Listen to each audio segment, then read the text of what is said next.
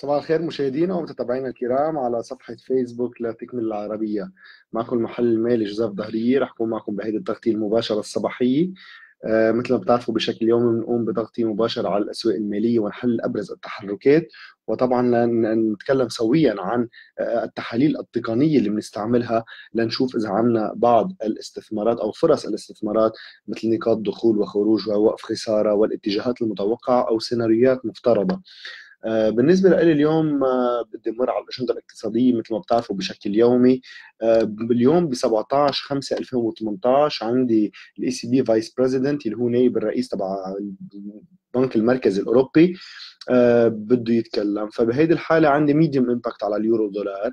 continuous jobless claims مهمة. طبعا بتحرك وال initial jobless claims أيضا يلي هن آه خلينا نقول البطالة في أمريكا أو الأشخاص اللي اللي بيشتكوا على طول من آه, آه، عدم وجود فرص عمل في الولايات المتحدة. طبعا إذا زادت يعني نتوقع إنه آه، هيدي خبرية أو آه، بيان عاطل للدولار الأمريكي مما يدعم العملات الرئيسية لترتفع مثل تحليلنا اللي كنا عم نقوم فيه لزوج اليورو دولار والاسترليني دولار وأسعار الذهب آه، بجلسة أمس. اليوم رح أرجع أدعم نظريتي على إنه أنا أتوقع ضعف للدولار الأمريكي بالجلسات القادمة وأتوقع إنه ممكن نرجع نسلم من العملات الرئيسية الموجودة عنا على منصة التداول ترجع آه، تشد أمام إذا بدكم العملات الأخرى. اليوم بدي أتكلم شوي عن آه، علاقة النفط بالدولار كندي. آه، كنت حابب بمر على هذه الخبرية قبل طبعا بدي أحذركم من المخاطر اللي ممكن تواجهوها في أسواق المال وفي في سوق الفوركس. آه، بدكم يكون عندكم رغبة في المخاطرة ومستوى الخبرة المعين الخبرة المعينة لتتداولوا أو آه، لتكونوا عم تستثمروا بأسواق المال. بهذه الحالة ممكن انه تتحملوا خسائر اللي تتجاوز رأس مالكم اللي عم تستثمروا فيه في شركه المالية. آه، بالنسبة لي أنا بدي أبتدي طبعا آه، أعرفكم على المسابقة اللي عاملينها في شهر آه، رمضان الكريم اللي هي طبعا بده يكون عندكم حساب في شركة Tickmill اولا بتعملوا like و share لهذا المنشور اللي عم تشوفوا أمامكم. آه، بيمتد هذا المنشور عبر آه، إذا بدكم أصدقائكم بنعرف اصدقاء الأصدقاء على شركة Tickmill بشكل أو آخر. وبهيدي الحالة طبعا بنكون عم نعمل comment Tickmill underscore رمضان 2 اللي هي مع رقم آه، حسابنا في شركة Tickmill اللي بنتداول فيه بشكل يومي. وأيضا إذا بدكم المسابقة A هي مشاركة الفيديوهات التعليمية اللي عم نقوم فيها مثل هلأ الفيديو التعليمي اللي عم نقوم فيه بالجلسه الصباحيه تعملوا like و share وأيضا comment برقم حسابكم طبعا و Tickmill underscore رمضان 1 okay؟ فبهيدي الحالة طبعا بنكون فقط بكبسة زر بسيطة اللي هي like share و comment عم نقدر آه، آه، يعني ندخل بمسابقة لنربح جوائز التاليه اللي هي المركز الأول 200 دولار وبتمتد إلى 25 دولار المركز الخامس. فبهيدي الحالة آه، فورا بنختار خمس فائزين كل أسبوع وبينزلوا في حسابكم التداول. بهيدي الحالة طبعا آه، لكن مرينا على الأجندة الاقتصادية وعرفتكم على شركة تكمل اللي هي أو مسابقة شهر رمضان المبارك. آه، بالنسبة للمدونة طبعا بدي أيضا أعرفكم عليها بشكل يومي اللي هي كمان عندها أبرز التحاليل بتشوفوها رسوم بيانية وبعض التحاليل اللي بنقوم فيها أو المحللين والخبراء في شركة تكمل. لدخولها على هذه المدونة من website Tickmill. آه، بندخل على مدونة Tickmill وبتعملوا username password فقط بتسجلوا الأمور كلها بشكل بسيط. هلأ أنا بالنسبة للرسوم البيانية خليني أقول أو الأمور اللي اللي عم نتداول فيها بشكل يومي مثل زوج اليورو دولار بدي أقوم بتحليله. آه، كنا شهدنا أمس ارتفاع أو تصحيح من من القاع اللي هو من آخر مستويات سجلناها. ورجعنا ارتدينا إذا بدكم لمستويات واطية اللي هي خلينا نقول مستويات ال 117 86 بجلسة أمس. لنرجع هلأ نبتدي ارتفاع بسيط صباح جلسة الخميس اللي هي صباح اليوم. لنرجع نسجل مستويات ال 118 30 و 118 40 فبهيدي الحالة أنا أتوقع بعد ارتفاع أقله بموجة C. إذا في حال أنا عم عم بستهدف ثلاث موجات تصحيحية أتوقع بموجة C بترجع تمتد فيها. لنرجع نستهدف مستويات ال 118 80 أو 118 خلينا نقول 90 فبهذه الحالة بكون سجلت ثلاث موجات تصحيحيه اقلها لا الانخفاض الضخم اللي شهده زوج اليورو دولار. طبعا هذا الانخفاض ممكن إنه ما يكون تصحيحي ممكن يكون امبالسيف ويفز يعني موجة اندفاعية آه، هابطة. يعني ما في شيء بيمنع طبعا ولكن لناخذ تأكيد على هذا الموضوع. بده يتم عندي اختراق وأغلاق.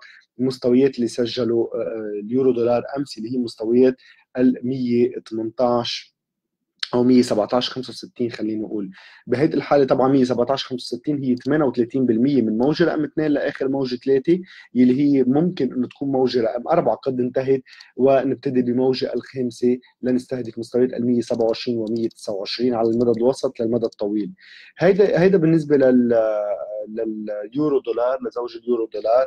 طبعا ممكن إنه نرجع نبتدي ونقوم بتحليل الاسترليني دولار خلينا نقول اللي هو أيضا عم نشهد تحرك أو تقلبات آه، مرتفعة عليه صباح اليوم عند بداية آه، أو إذا بدكم عند افتتاح هذه الشمعة شفنا شهدنا بشمعة خمس دقائق اللي هي 5 minutes ارتفاع حاد لزوج الدولار الاسترليني دولار. بتلاحظوا عند الساعة واحدة يعني فور افتتاح سوق آسيا آه، شهدنا ارتفاع من مستويات ال 134 60 لل 135 70 يعني عم نتكلم تقريبا بحدود 100 نقطة ارتفاع. فهيدي كانت آه، بتدعم أيضا نظريه نظرية الثلاث موجات التصحيحية أو بتدعم نظرية أيضا ال expanding triangle اللي تكلمت عنها أنا أمس اللي هي قلت لكم إنه ممكن يكون انتهينا من الموجة الخامسة ب expanding triangle وعم بنبتدي موجة صاعدة لنستهدف مستويات ال 136 50 أول آه، هدف وإذا تم اختراق هذه المستويات نتوقع إنه نرجع نرتفع لمستوى ال 139 فأنا بالنسبة لي ال expanding triangle عند ال GBP USD هذه إشارة إيجابية وأيضا كمان ارتفاع اليورو دولار آه، من مستويات ال 38% شيء إيجابي أيضا ممكن نرتد فيه. بعد ما نعرف إنه هذه الموجة إذا هي اندفاعية أو تصحيحية إن كان لليورو دولار أو للسترليني دولار. أنا أتوقع اليوم إنه ممكن خبرية عاطله تجي بالنسبة لل initial jobless claims للدولار الأمريكي. هذا الشيء طبعا بيدعم نظرية إنه ممكن يرجعوا يرتفعوا العملات الرئيسية من هون. وبتلاحظوا إنه ال inverse head shoulders أو الرأس والكتفين اللي تكلمنا عنها على الأسترالي دولار عم عم نشهد ارتفاع. يعني الأمور ماشية تمام طبعا واستهدفنا مستوى ال 76.4% وابتدينا ارتفاع. هلأ بدنا نزور ال neck line اللي هي عن مستويات تقريبا ال 75 80 إذا تم اختراقها نتوقع أيضا زيادة مستوى ال 077 على المدى القصير. آه، بالنسبة لي اليوم بدي أتكلم كنت عن الدولار CAD والنفط. عادة آه، كندا هي من البلدان المصدرة للنفط وكان الولايات المتحدة هي من البلدان اللي بتاخذ على طول آه، إذا بدكم احتياط نفط من دولة كندا. فبهذه الحالة كان عندي علاقة مباشرة بين الدولار CAD والنفط. خلينا نقول بين الكندي ال loonie والنفط مش الدولار CAD. الدولار CAD هو الزوج أو البير يعني عم نتكلم الدولار الأمريكاني مقابل الكندي. لا أنا عم بتكلم العملة الكندية لحالها. يعني العملة الكندية هي طبعا بتمشي مثل أسعار النفط خلينا نقول يعني إذا في حال العملة الكندية عم ترتفع نتوقع ارتفاع سعر النفط والعكس صحيح. يعني هلا إذا في حال أنا بدي أقول إنه النفط عم بيرتفع والدولار وال والكندا عم بيرتفع يعني الدولار كاد لازم يكون عم ينخفض خليني افسر لكم إياها بكل بساطة. إذا بدي لكم أنا هون oil okay أو النفط وعندي ال CAD ال CAD لحاله وعندي ال pair اللي هو USD CAD okay؟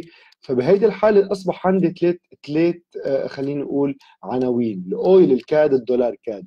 إذا في حال ال CAD عم ينخفض العملة الكندية عم تنخفض ال oil لازم يمشي مثلها بما إنه العلاقه مباشرة بين ال oil والكندي. ولكن إذا ال CAD عم ينخفض يعني ال CAD عم يضعف أمام الدولار فبهيدي الحالة طبعا USD عم بيرتفع أمام ال CAD لأنه ال CAD عم ينخفض فبهيدي الحالة طبعا هذا الزوج رح يرتفع. يعني بتلاحظوا إنه العلاقة بين النفط والدولار CAD okay بكل بساطة هي علاقة سلبية okay negative negative وانما علاقة بين ال oil وال CAD اللي هي positive عم بتكلم انتبهوا بدكم تعرفوا الفرق بين ال CAD لحالها العملة الكندية والفرق بين ال pair اللي هو هذا ال pair اللي هو الدولار CAD. okay؟ فبهيدي الحالة إذا ال CAD عم ينخفض الدولار CAD عم بيرتفع والعكس صحيح إذا ال oil إذا ال oil عم بيرتفع إذا ال oil عم بيرتفع يعني ال CAD أيضا عم بيرتفع إذا ال CAD عم بيرتفع يعني عم بيقوى على الدولار الأمريكاني. يعني الدولار الأمريكي عم بيضعف أمام العملة الكندية فبهذه الحالة طبعا بيكون عم ينخفض هذا ال pair. يعني بتلاحظوا أيضا العلاقة الإيجابية بين ال oil وال CAD والعلاقة السلبية بين ال oil والدولار CAD طبعا. فبهيدي الحالة هون اللي عم جرب لكم إياه أو عم جرب اوصل لكم إياه هي بكل بساطة ال oil والدولار CAD لازم يكونوا بالاتجاه المعاكس عم يمشوا عكس بعض. وصلت هذه الفكرة بدي أنتقل للرسوم البيانية. إذا في حال نحن عم نشهد آه، آه، انخفاض للدولار CAD لازم نشهد ارتفاع لل oil صح؟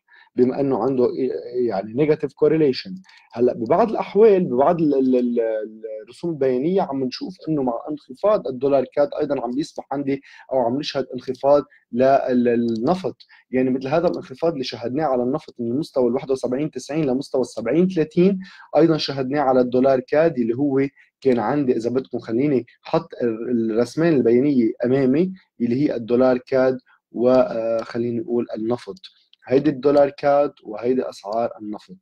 okay؟ أصبح عندي هلأ هون 1 hour وهون 1 hour بتلاحظوا إنه عندي ببعض الأحيان إذا بدي أحط هون 4 hour chart okay وهون 4 hour chart بكل بساطة بتلاحظوا بعض الأحيان بكون عندي انخفاض للدولار CAD وبنفس الوقت انخفاض للنفط فبهيدي الحالة ممكن ارتفاع لل WTI وارتفاع لأسعار النفط. فممكن يكون عندي شوية إذا بدكم يعني بلش الأمور تصير يعني ما مضبوطه لأنه ممنوع إنه الدولار CAD ينخفض والنفط ينخفض معه لأنه أصبح عندي correlation غلط. فبهذه الحالة شو السبب؟ السبب بكل بساطة إنه قديما آه، الكندي كان يمشي مع النفط طبعا. وبالوقت الحالي أتوقع إنه هذه الكورليشن تكون عم بتفلت بعضها البعض على المدى الطويل لأنه آه، دولة كندا آه، صارت عم بتصدر نفط أقل للولايات المتحدة. ليش؟ لأنه الولايات المتحدة أصبح عندها اكتفاء ذاتي بالنسبة للنفط. يعني قديما كانت تطلب نفط من كندا تطلب نفط من دولة السعودية المملكة العربية السعودية. فبهذه الحالة كانت تأثير النفط على يعني الدولار الأمريكي شوي غريبه وال correlation عندي correlation بالنسبة للنفط وعملات أخرى واضحة جدا. ولكن بالوقت الحالي من وراء اكتشاف النفط الصخري عند الولايات المتحدة وغيرها وغيرها صاروا إذا بدكم عندهم الولايات المتحدة اكتفاء ذاتي. بهذه الحالة بطل عايزين إذا بدكم خليني أقول النفط من دولة كندا. وبهذه الحالة ممكن إنه نشهد شوية difference أو uncorrelation بين أسعار النفط وأسعار الكندي دولار. آه، هلا بالنسبة لأسعار الذهب بتلاحظوا إنه عندي أوقات آه، آه، انخفاضات بالدولار CAD والدولار ين. بعض الأوقات والدولار سويس وبتلاحظ إنه عندي خلينا نقول ضعف للدولار الأمريكاني وأيضا بنشوف ضعف لأسعار الذهب. فشو السبب؟ السبب هو بكل بساطة إنه نحن الذهب ما عم بيشتغل بقى كملاذ آمن ما عم بيشتغل بقى خلينا نقول سيف هيفن وما عم المستثمرين يفضلوا إنه يستثمروا بالذهب مقابل العملات الأخرى أو مثل مقابل الدولار الأمريكي. بهذه الحالة بكل بساطة السبب السبب واضح هو آه، إنه الذهب بطل عم بيشتغل ملاذ آمن مثل أيام زمان. ليش؟ لأنه عندي سندات الخزينة للدولة الأمريكية اللي هي ال US bonds طبعا عم بيقدموا 3% في الوقت الحالي. 3% للمستثمرين عم نتكلم نحن عن سندات الخزينة للدولة الأمريكية يعني بنوك العالم كلها بيستثمروا فيها. شو يعني بنوك العالم كلها يعني عم نتكلم هو أكثر شيء آمن بعالم الاستثمار. هي سندات الخزينة على طول آمنة بكل بلدان العالم وكيف لا تكون للولايات المتحدة؟ يعني هي امن شيء ممكن تكون لرأس مالك أو لمالك الخاص على الكرة الأرضية باجمعها للاقتصاد العالمي. فال US bonds لما يكونوا عم بقدموا 3% يعني عندي أمور خلينا نقول أو عندي safe haven أو ملاذ آمن أكثر من الذهب. فبهيدي الحالة المستثمرين ما بيفضلوا وما بيحبذوا إنه يدخلوا باستثمارات آمنة أو يعتبروا الذهب كملاذ آمن. فبهيدي الحالة بتلاحظوا إنه عم يرتفع أو قوة الدولار الأمريكي بعدها محافظة على حالها. بتقلي إنه إذا في حال سندات الخزينة قوية كيف آه، الدولار الأمريكي عم يرتفع معها؟ بكل بساطة إذا بدنا نتكلم اقتصاد الدول الأخرى يعني عم نتكلم على سبيل المثال مثل لبنان. إذا لبنان بده يستثمر في سندات الخزينة الأمريكية ممكن إنه يدفع في الليرة اللبنانية؟ أو إذا في حال مصر أو السعودية أو آه، قطر أو البحرين بدأت تستثمر بالسندات الخزينة الأمريكية رح يدفعوا بالبحريني أو رح يدفعوا بالريال السعودي أو رح يدفعوا في الجنيه المصري؟ طبعا لا.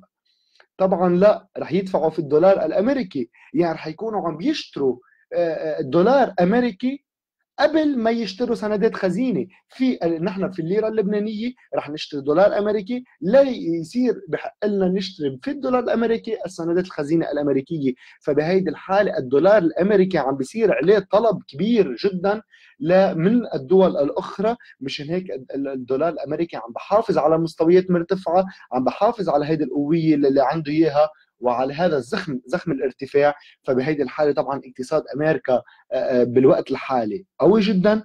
والشغلة الوحيدة السلبية اللي ممكن إنه نتكلم عنها في الولايات المتحدة هي التضخم أو ال inflation. فإذا في حال أسعار الذهب بعد عندها أمل على المدى الطويل هي من وراء التضخم أو ال inflation للعملة الرئيسية. ليش؟ لأنه من وراء ال QE printing اللي كانت عم تتبعه جانيت يلن أوكي؟ فبهذه الحالة طبعا تطبيع المال أو ال liquidity بتأثر سلبيه على التضخم على المدى الطويل. يعني نحن بدنا نعرف إنه بمجرد ما طبعنا مال أو QE printing مثل ما كان عم بيصير قبل مع جانيت يلن عم بيصير في عندي سيولة كبيرة في البلد. وهذه السيولة طبعا عم عم بتكون بتأثر سلبي على قيمة العملة الورقية. ليش؟ لأنه أصبح عندي كثير منها. بما أنه سهل تطبيعها فالقيمة تبعها بدها تخف. ولما القيمة تخف تبعها بصير بدي دولارات أكثر لتشتري خليني أقول goods أو لتشتري خليني أقول أقله shopping يعني إذا بدي أروح على السوبر ماركت وأشتري مأكولات بدي عمله ورقية أكثر لاقدر أنا اتبضع فيها. فبهيدي الحالة طبعا ال inflation هي الشغلة الوحيدة ال negative أو السلبية في الولايات المتحدة ولكن باقي ما تبقى الاقتصاد طبعا عم بيكون healthy وعم بيكون جيد ويعني الدولار الأمريكي طبعا عم بحافظ على مستويات مرتفعة. فبهيدي الحالة مشان هيك الذهب بطل ملاذ آمن بالوقت الحالي. ولكن تقنيا خليني أتكلم مستوى 1286 مهم جدا. إذا تم اختراقه ممكن نرجع نستهدف مستوى 1260 طالما هو فوق مستويات 1233 اللي هو آخر قاع أنا برأيي مستويات خلينا نقول 1400 ممكن يكون وارد بعده عندي 1400 1420 ولكن إذا في حال تم مستويات أو اختراق مستويات ال 1230 1234 أتوقع أنه أيضا سيناريو سلبي آخر ممكن يرجع يتمسك بأسعار الذهب وبسيناريو الذهب لنرجع نستهدف مستويات اوطى ممكن 1000 دولار عن جديد. يعني للأسف فبهذه الحاله طبعا بدنا ننتبه مع انخفاض أسعار الذهب وهذا السيناريو السلبي ممكن أيضا تاخذ أسعار النفط معه وممكن نرجع نبتدي موجة تصحيحية جديدة لأسعار النفط لنستهدف مستويات ال 46 وال 50 دولار عن جديد. طبعا عم بتكلم على سيناريوهات سلبية مقابل الدولار الأمريكي إلا إذا في حال يعني شهدنا بيان ضخم التأثير على الدولار الأمريكي وكان سلبي جدا. وبهذه الحالة ممكن أيضا نرجع نشهد ارتفاع لأسعار النفط ونستهدف مستويات ال 70 دولار عفوا ال 74 دولار على رسم بيان اليومي هيك بنكون نحن اخترقنا النفق المايل على ارتفاع أو ال upward channel هيدا عم بتكلم تقنيا أنا إذا لا ممكن نرجع نشهد ارتداد وتصحيح ل موجة تستهدف مستوى ال 67 دولار على المدى الوسط للمدى الطويل. أما بالنسبة للعملة الرقمية المشفرة البيتكوين عندي انخفاض هلأ تصحيحي واضح ممكن نستهدف فيها مستويات ال 61% اللي هي مستوى موجة رقم 2 يا أما wave B ممكن تكون فبهذه الحالة ممكن التراجع يرجع يستهدف أيضا مستوى ال 7200 قبل ما نفكر بموجة جديدة صاعدة لنستهدف wave C اللي هي ممكن نرجع نشهد أو نرجع نلمس أسعار ال 11000 و 13000 لسعر العمله الرقمية المشفرة أو البيتكوين. قبل ما نرجع نبتدئ انخفاض عن جديد ونرجع نفكر بسيناريو سلبي. أنا على طول بوصف لكم البيتكوين بال natural gas ال natural gas أو الغاز اللي هو إذا تشوفوا الرسم البياني تبعه. خليني أدخل فقط بس لنقدر نشوف رسم بياني الغاز ال natural gas كيف كان عم بيسجل عندي قبل أو سابقا. ال natural gas أوكي ممكن ندخل على ال future فورا. natural gas اللي هو ممكن نلاقيه 2.81 نضغط عليه بنشوف الرسم البياني. خلينا الرسم البياني نحط الرسم البياني على المدى الطويل اللي هي بندخلها okay هون محطوطة من ابريل لماي ولكن نحن بدنا على الرسم البياني الشهري okay؟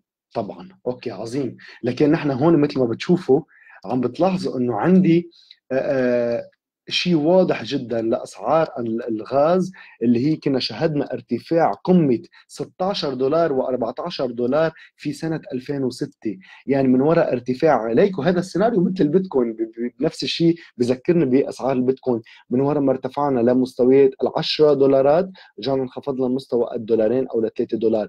رجعنا ارتفعنا لمستويات ال 16 دولار اللي هي تقريبا عند أسعار البيتكوين لما استهدفت مستويات ال 20000 دولار. رجعنا انخفضنا لمستويات 8000 دولار على أسعار البيتكوين. عم بتكلم هون عن الناتشرال جاز ولكن نفس السيناريو.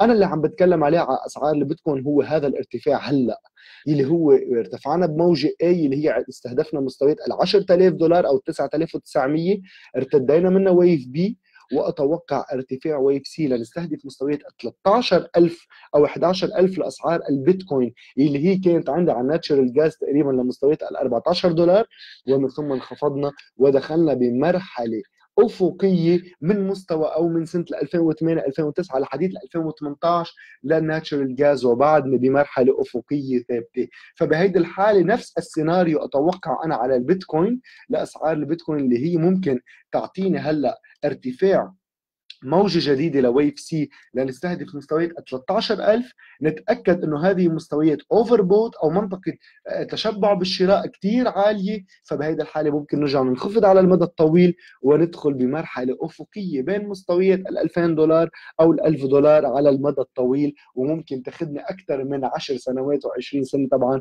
تضل العمله الرقميه المشفرة قرب آه، مستويات واطية ومتدنية بهيدي الحالة مش أنا عم عم عم بجزم لها مصيرة طبعا. لا ممكن نرجع نرتفع لمستوى 30000 ولكن هذا مجرد سيناريو مفترض وأنا عم بتبع أيضا تحليلات المحللين الكبار بالسوق مثل وارن بافيت وغيره مثل صاحب شركة مايكروسوفت مثل بيل جيتس عم بيقولوا إنه العملة الرقمية المشفرة ما لها مستقبل ضخم على الأسواق المالية فبهذه الحالة ممكن نشهد منطقة أفقية طويلة المدى قرب مستويات واطية اللي هي 500 أو 1000 دولار لسعر البيتكوين الوحدة. آه، بالنسبة لي آه، انتهت هذه الجلسة. بدي أرجع أذكركم ما تنسوا آه، المنشور لمسابقة شهر رمضان المبارك اللي هي مسابقة عم تقدمها شركة Tickmill بتقدم خمس جوائز أو لخمس فائزين كل أسبوع من 200 دولار المركز الأول ل 25 دولار المركز الخامس. طبعا آه، فقط بمجرد ما عملتوا like share و comment لهذا المنشور Tickmill underscore رمضان 2 وأيضا على الفيديوهات التعليمية اللي هي المسابقة A عندي مسابقتين هون مسابقة A هي مشاركة الفيديوهات التعليمية like share و comment Tickmill underscore رمضان 1 ورقم حسابكم اللي بتتداولوا فيه في الشركة المالية. طبعا آه، آه، بتمنى لكم يعني شهر مبارك. ويعني إن شاء الله بكون نهاركم مثمر في التداول ويعني كانت خبرية بسيطة جدا إنه تضغط like و share وتدخل في هذه المسابقة اللي ممكن تربح فيها جوائز ثمينه بتمنى لكم كل التوفيق ونحن رح نكون سويا بجلسة بعد الظهر لشرح استراتيجية معينة مثل ما تعودتوا علينا بشكل يومي. كان معكم المحلل التقني جوزيف ظهريه من شركة تكمل. إلى اللقاء.